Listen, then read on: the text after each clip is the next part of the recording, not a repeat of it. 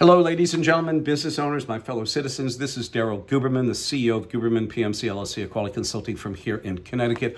Our background is over 40 plus years within the realm of aerospace, uh, medical implants, materials, printing, and plastic distribution, where we dealt with every industry under the sun. Today, I'm going to be saying this. This is a sad state of affairs because our news media isn't breaking the news. They will interview Mr. David Calhoun, the CEO, and ask him what an escape is. Between you and I, ladies and gentlemen, an escape is no more than a rejection. And he didn't even know the definition of escape, and he's been on board with Boeing since 2009. That tells me two things.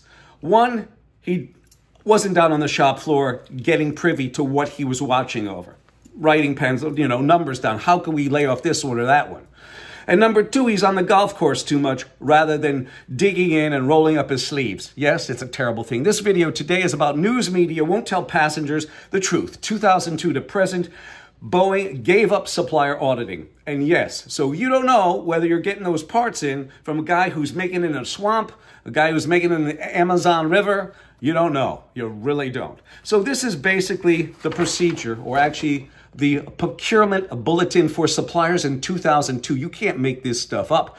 Or as Patrick Shanahan uh, said about the uh, said about the F-35 program made by Lockheed Martin when he was Deputy Secretary of Defense, when asked about it, he said it's fucked up. And so is this from Boeing.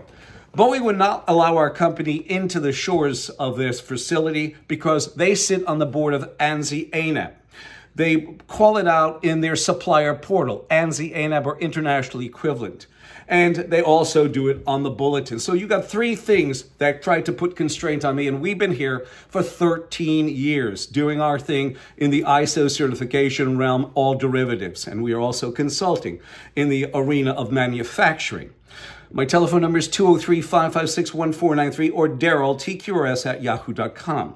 The rest of the data can be found down below this video, but I want to tell you just what this procedure says or bulletin real quick. It basically states this.